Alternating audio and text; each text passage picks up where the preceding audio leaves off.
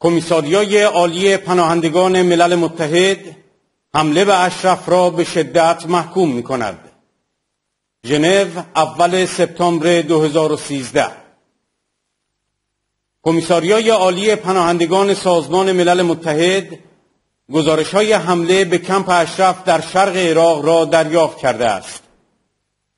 در حالی که ما همچنان به دنبال جزئیات این واقعه هستیم ولی به نظر می رسد که از نیرو برای کشتار استفاده شده است و شماری افراد کشته یا مجروح شدند. کمیساریای عالی پناهندگان سازمان ملل به شدت این حمله را محکوم می کند. استفاده از خشونت علیه افراد غیر مسلح در هر شرایطی غیر قابل قبول است. ما از مقامات عراقی می خواهیم امنیت ساکنان را بلادرنگ تضمین کنند. مهم است که خشونت متوقف شود و امداد پزشکی سریعا به مجروحان رسانده شود.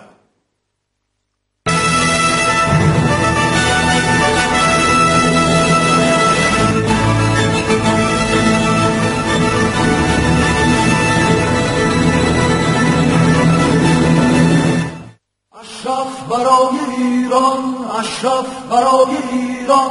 اشرف برای ایران اشرف برای ایران. میستد میمیرد قیام خلق ایران زی خون سرخ و تازه شوری دگر می‌گیرد. شوری دگر می‌گیرد.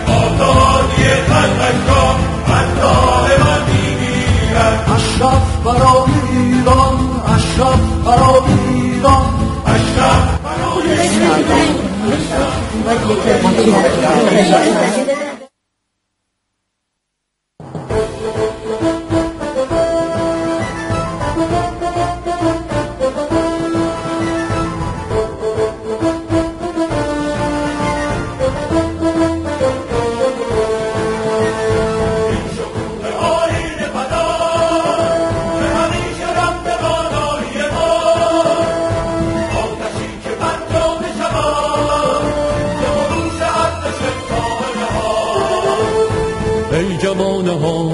جاودانه ها لاله های سرخ بی نشانه ها.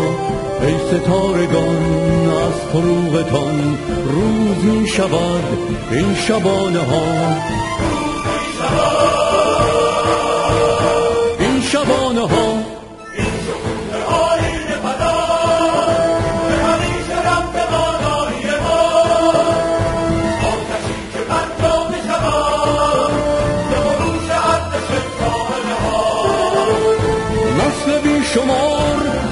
کین دار خسم خسته را کرده تار و مار اسمش آفتاب رسمش انقلاب مرهمی به